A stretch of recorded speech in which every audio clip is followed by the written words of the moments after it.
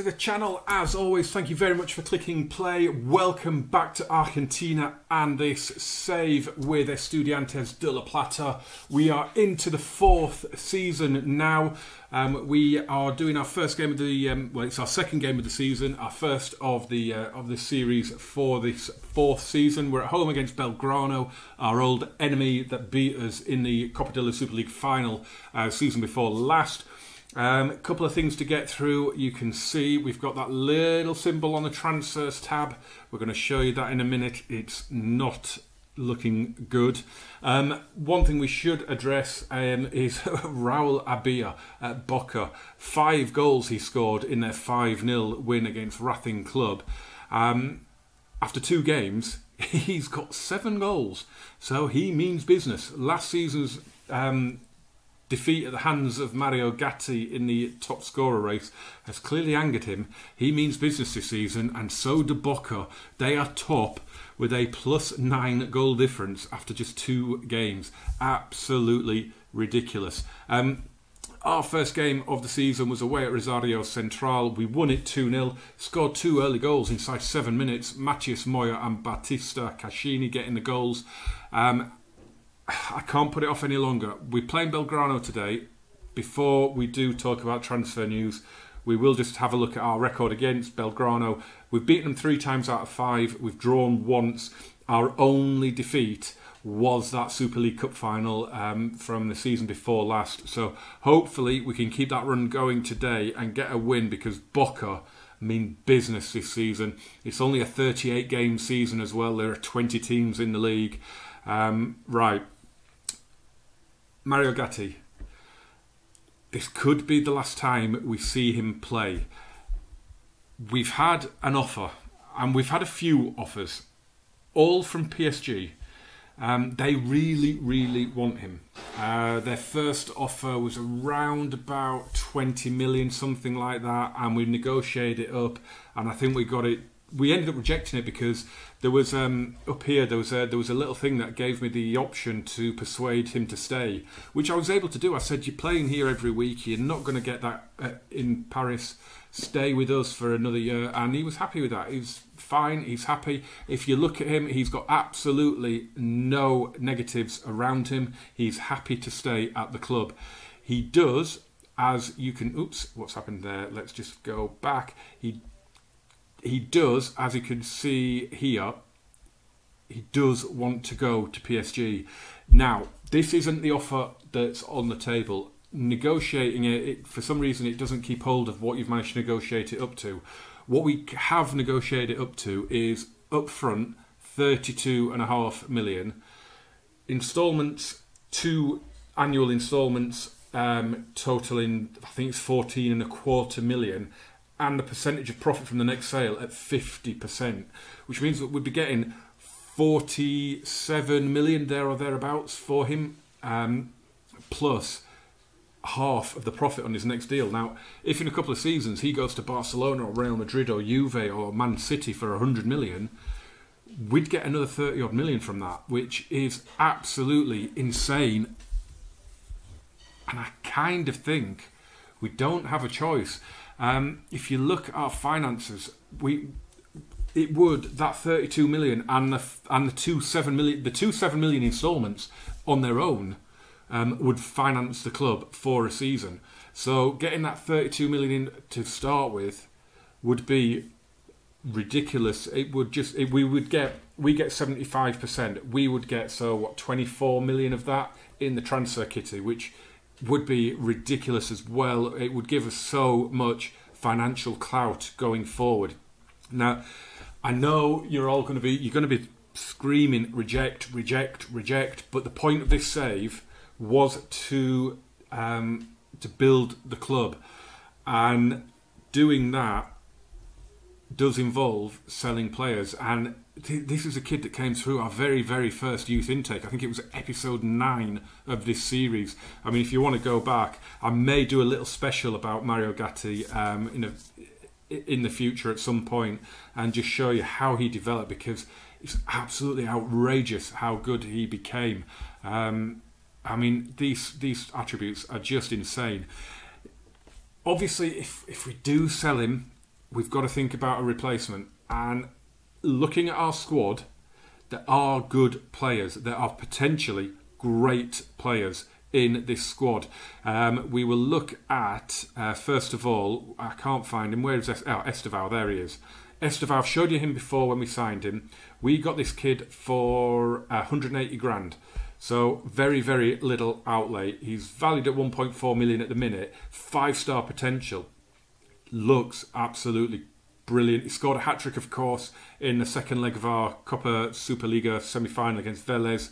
Um, a couple of them massive defensive errors, granted, but he looks the real deal as well. So he at six foot three, he's half decent in the air. I mean, he's not as good as Mario, but who is? Um, and then also we have uh, this kid that we signed this summer for uh, 175,000. Um, Golderson, another Brazilian, again looks absolutely fantastic. He's only five foot nine, so clearly not as good in the air. He's good at heading, just can't get off the ground. But again, he's quick and the finishing, the dribbling, brilliant. Estevao is probably ahead of him at the minute, but he does look really, really good as well. Um, in terms of in, the reserves, can you get the feeling that I'm kind of trying to justify selling Mario at this point? Um, we've got Ricardo Paredes, 18 year old, again, another one that we've just brought in, got him on a free from uh, Miami. Um, jury's out, four and a half star potential ability. That's why I've gone for him. Um, he looks half decent, but we'll have to monitor him. He's only 18, but if he can get the same sort of progress as Mario Gatti, he will be class. And this kid, I'm very, very excited about, Juan Urrutia. Um, we brought him in from Rio Negro Aguilar, Aguilas, but we sent him straight back there on loan as well. 700,000 we got him for. Um, he's valued at double that at the minute, but again, just look at him. He looks absolutely ridiculously good. Not amazing aerial ability for someone who's six foot, but he just looks fantastic. Um, I mean, finishing of 16, a first touch of 16, a technique of 14, a work rate of 14, and those physicals as well. He just looks so, so good. Um, so I'm going to play this match. Mario Gatti's going to start this game. And then I think I'm going to make a decision. And at the minute, I'm going to sell him. So brace yourselves.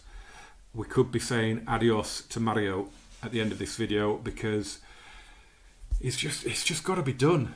We've we've just got to move on. Um, I mean, the kid's been sensational. He really, really has but we have to we have to let him go. I think we really do. Um, in terms of other transfers, I didn't show you them, did I? Is there anyone? Um, we've brought in Stephen Lozano. He's a left back uh, because I thought Marlon was going to go and he didn't. So we kind of got three left backs at the minute. So we'll have to monitor that. But he looks really good. Five star potential. Really, really good looking wing back. Uh, Golderson and Urrutia, of course, I've shown you, and Paredes, and I showed you the rest of them in um, in an earlier video. So we are ready to go. We do have an injury to Fabio Nogueira. He's out for, for um, two or three weeks at the minute. Uh, Luke, um, yeah, Lucas Rodriguez as well is out for another week or so. That is it in terms of injuries. This is the team we're going with um, debutant for Thomas Fernandez and uh, Agustin Heredia. But other than that, it's all good. We're going to probably bring Golderson on in this match, give him his debut. Um, I think it's his debut. I don't think he played against. Did he come off the bench? No, he didn't come off the bench against um, Rosario. So hopefully Mario Gatti can sign off with some goals today. But I do think it's time to say adios. Oh, I know I'm going to get so much hate in the comments if we do sell him, but you know, 47 million is it, it's uh, it, it's Vinicius Junior money, isn't it? And you know, it, it, it's stupid money. And in, I'm I'm amazed. quite honestly, I'm amazed that the board haven't stepped in and accepted it on our behalf because it's a it's a phenomenally good offer that we've managed to get it up to. So yeah, I'm kind of I'm kind of surprised that the board haven't stepped in and said we're taking that. It's too good. Um, if I'm being honest, part of me was hoping they kind of would do that, so it wouldn't make me look like the bad guy, which undoubtedly I'm going to do if I sell him. But we've got to sell him, haven't we? Forty-seven million, up, um, thirty-two and a half up front, fourteen and a half million in add-ons, 50% sell-on. I did try and get a loan back. That didn't happen, but it's just too good to turn down. It really is. I've, you know, jump in the comments, let me know. Unfortunately, I don't think I'm going to leave it up to you guys. Um, I think I'm going to sell him because I want to see our bank balance bigger, to be honest. As Thomas Fernandez, he should have scored there. Pellegrini's cross. Fernandez hit it straight at the keeper, but a good good start from us, but he should have scored. Um, I'd love to see Mario Gatti sign off with three or four goals. Um, although if he did score three or four goals today, I'd probably reject the offer, to be honest. Um, but here we are on defensive with Balboa. Out to Siqueira. In it goes to Brenner. Tame header straight at Sapa. Goal kick for Sapa lifts out to Facundo Mura as the right back. Uh, one of the game going on today, Huracana taking on Newell's. It's nil nil there as well at the minute. Um, Gil Romero in midfield. He is running out of time to fulfil the promise to him of giving him more first team football. So I'm just trying to give him a little bit as Caccini comes in and smashes in a wonderful volley. It's his second goal of the season. He scored in both games now, and we are going to go a long way today at this season to see a better goal than that. What a hit this is! Just look at that. Oh, that is just stunning. It's a good start from us. It's half 50 uh, 50 on possession. We haven't really seen much Belgrano attacking, even though they've apparently had more shots than us. Uh, Campi plays it forward to the goal scorer, Caccini. Pellegrini. I do love Caccini in his box to box midfielder role. He does score quite a lot of goals. He got well into double figures last season. Oh, and what a volley that is from Thomas Fernandez. His first ever goal for the club. I'm really excited by this kid. I'm really expecting him to make that right wing spot his own. This is an absolutely brilliant finish. Just look at that technique. Knee over the ball, fires it in. Dos zero. Gaston Campi has just picked up a yellow card, um, so hopefully he doesn't do anything silly. Here's Thomas Fernandez to Gil Romero, back to Thomas. And Leonardo Fernandez now goes out to Lozano. In it goes. The header from Gatti is just over. Um, the game against um, Rosario, Mario Gatti just had so many headed chances. Um, he was just way off target with all of them. Um, he just didn't have his finishing um, on his finishing head, his shooting head, whatever you want to say. All headed chances that he put narrowly off target. He just wasn't at the races uh, then, and he hasn't been so far today either um, which does make it easy to accept 30 odd million. As Gil Romero hits one, but it's straight into the arms of Acosta. Um, I mean, we put away Rosario early as well with two goals in seven minutes uh, in the opening seven minutes in that first game of the season. So we've we've done we've done it here as well. We've hopefully put Belgrano away inside the first 20 minutes. Uh, Moura will take the throw. Fernandez, Leonardo Fernandez, Gil Romero, Leo Fernandez again to Thomas. Back to Gil Romero. Caccini. Is he going to line another one up? Oh, don't know what that was. That was poor. That was really, really poor. Um, now breaks. The counter is on. He hits it into the box. That was awful, wasn't it? And Daniel Sapa will pick that up easily, and we will go again from the uh, from the back. This and this is what we like to do. We like to build it. We like to work the ball. We like to get as many players and as many passers involved as possible. And Mario Gatti is in, and Mario Gatti should have scored. I think his head was in the French capital there. He really should have hit the back of the net with that one. Here he is again now, though, and that's a lovely ball to Pellegrini, and he should have scored as well. In Gil Romero, and it is still alive. We are getting in at will at the minute. Gil Romero out to Steven Lozano, who's looked pretty decent in this match so far, and it is put behind for the corner by Silva, we have suddenly really turned the screw here and we really look like we want to put them to bed well before half time and get three or four in this first half, which would be fantastic. Um, we really have to put points on the board because Boca have raced out of the blocks. Caccini picks the ball up here. Gil Romero goes all the way back to Campi. That is fine because it makes the opponents move around. I'm happy with a, back, a backwards pass if a forward one isn't on. Um, here's Caccini to hit one, and Acosta makes a save. A good flying away to his left. He's kept his team in it today, Acosta. He really has. Um, we should probably be out of sight by now, but instead it looks like we're going to go into the break just 2 0 up, which should be enough. Huracan leading against Newells. Uh, they've scored, I'm guessing that is um, Andre Chavez. It is. I love Andre Chavez. Uh, when I had him in a, in FM16, I really, really loved him. But we're 2 0 up at half time. I'm just going to say calmly, very pleased, keep it going. They've all re- reacted positively to that, which is good. Hopefully, that means they won't take their foot off the gas. Um, hopefully, we can get another couple of goals and chip away at that ridiculous goal difference. Alvarez with this throw. Balboa heads it back to him. He has got an injury, Balboa, which isn't too disappointing for us because he is a bit of a thorn in our side. Here's Brenner to Letora. Rivero to Silva, whips it in. Balboa's header straight at Daniel Sapper. That's their best move of the match so far that we've seen. Huracan 2 0 up. Garro has scored eight minutes into the second half. Here is Balboa again to Rivero. We're going to be making some changes soon, 10 minutes or so, and Golderson is going to come on for Mario Gatti. It's not been a good start to the season for Mario Gatti, and that is a sensational save from Daniel Sapper. But Balboa is on hand putting the rebound. They have come out in this second half meaning business. It has been all Belgrano since the break. They deserve to have that goal back. This, though, what a save this is. That is a brilliant, brilliant save but it was just unfortunate that it landed straight back at the striker, and it's 2 1, and it's game on. Time to make a substitution then, and, and as you can see, look, Mario Gatti is down to 48%. Um, he's picked up a knock, so I was about to take him off anyway. He's been poor in this match. He's been poor this season so far in the two games that he's played, so he's going to come off.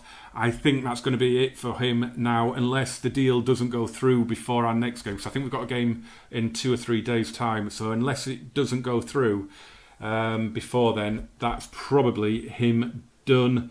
Um, we're going to bring on Gaston Paiva for Batista Caccini. Sorry, that, that seemed like I was glossing over it, wasn't it? Thank you, Mario. You've been an absolute legend at the club. If that was your last appearance, then you know we've got to bow down to you. You are going to be an absolute world beater. Uh, you've just it's I think it's just too good an offer to turn down. Uh, Batista Caccini coming off, Gaston Paiva is the other one coming on. Um, so let's hope that that gives us what we need to put this one to bed. Um, Pellegrini's looking really tired as well. We're a little bit light out on that left hand side with Lucas Rodriguez being injured. Hopefully, hopefully he will be back. Um, he's only out for another, another seven days or so, so he should be back soon. As Acosta claims that free kick unchallenged. Um, what's he going to do? Kicks it long. Only one man up front, but when he gets to it and gets through, that's all you need, isn't it? And Daniel Sapper had to come up with another save, and we have just not been at the races since half time at all. It's a well worked corner here. Jordana again. Rossi chop blocked, cleared away, and we are hanging on here. Bonifacio takes the throw to Balboa, gets it back. We've made our final change. Gonzalo Lamado has come on for Leonardo Fernandez as Balboa with a shot and a brilliant save from Daniel Sapper tips it wide for the corner. They deserve to get something out of this game. They really do. We have been awful in this second half, and the header there is saved by Daniel Sapper. We have not turned up. We did not come back out of the dressing room. This has been absolutely horrendous performance. And I, do, you put it down to that? I hate that I'm very pleased with the way things are going, team talk. It never works. Here is Lamardo, and he's played in Pellegrini, and a good save by Acosta, and that would have been a very, very undeserved third goal. You can't argue that we don't deserve to go 3 1 up. We don't really deserve to get out of this match with a win at the moment. Um, as Rossi steps up with the free kick here, can't whip it round enough. It's into the side netting. Are we going to hold on? Because that's what it's going to be. It is going to be a case for us holding on. If we do, Huracan are still 2 0 up. Not really sure what it does in this fledgling league table. As Gaston Paiva looks to whip a free kick in, Thomas Fernandez heads it over.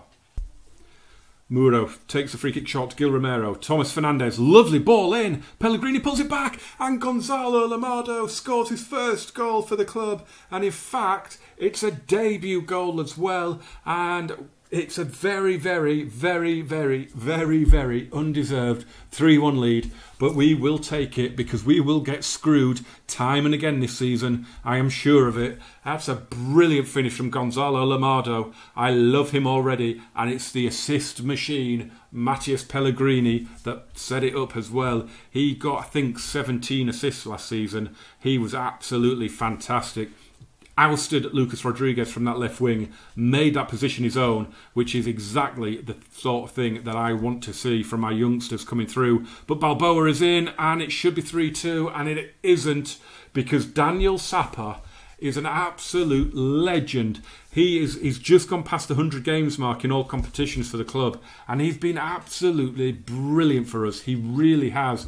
He's only 25, I think, as well. He is going to be my goalkeeper in this save until he decides he wants to leave because he is absolutely brilliant. He is he has won us the points here today. He really has. I mean, they've had 11 shots on target. He's made 10 saves today. He has won us the, the points as much as the players that have scored the goals. As Moura steps in with a brilliant tackle for, for one so inexperienced. And that is it. We've won it 3 1. We definitely didn't deserve to win it 3 1. Belgrano on that second half showing deserved at least a point out of that. Is there something. Oh, I don't like any of those. I really don't. I am going to hand this over to the assistant because I wanted that Jekyll and Hyde thing. And I think if we hadn't scored that last minute goal, we would have had that Jekyll and Hyde team talk in there. Good in the first half, second half unacceptable because that is how I feel. But we have definitely got out of jail there. So you join us back where we started then. Um, the offer for Mario Gatti, what I'm going to do is I'm going to go through the steps that I went through before. And what I did was I I initially negotiated up to 50 million up front which brought them up to 29.5 million. It brought up their instalments to 14 and a quarter, and it brought the percentage of their next sale to um, to 50%. I then went in to uh, 40 million, which should now bring it to 32 and a half up front, non-negotiable. That is the offer. That is it, as it stood. That is the offer that we had in place for him, and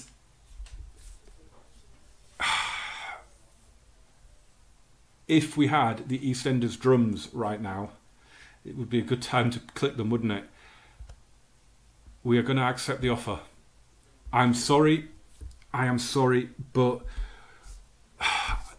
I've got to reconcile it in my head we're never, ever, ever going to earn that sort of money in prize money. No matter how many Copa Libertadores we end up winning, no matter how many Superligas, Copa de las Superligas, Copa Argentinas, Copa Sudamericanas, it doesn't matter what we do, we're never going to get that sort of money in prize money. Um, and it's such a good offer. We're, we're going to struggle to get anything like that as well. So we've just, it's just got to happen it really has. We've got a lot of good young players coming through. We only have to put up with it um, till December, and if it's not working out, we'll have money to spend and we can bring in a proper striker if we do need to. Please forgive me, for I have sinned. I have sold our Messiah. Oh, I hope he rejects their contract. I really do. Um, the plan for the next video, I'm thinking a double header. Um, because after something like that, I need to owe you, don't I? Um, I'm wondering about doing River and Boca in the next video. They're both away from home, which means two defeats, but I am thinking about doing them both away from home. Um, I think that's going to be the next video. Please forgive me. Don't give me too much hate in the comments. If if you're not happy with that, just leave a dislike. You don't need to give me hate in the comments. oh God, have I done the right thing? He's he's had two really really bad games to start the season with, and he he had a couple of really, really bad games to end last season with as well. He hasn't actually scored for us in about five games, I think. So he's useless. He's rubbish. It's time to get rid. Oh God, what have I done? Um, join me for the next episode, please. Please come back, please. Thank you for watching, guys. Please forgive me. Adios.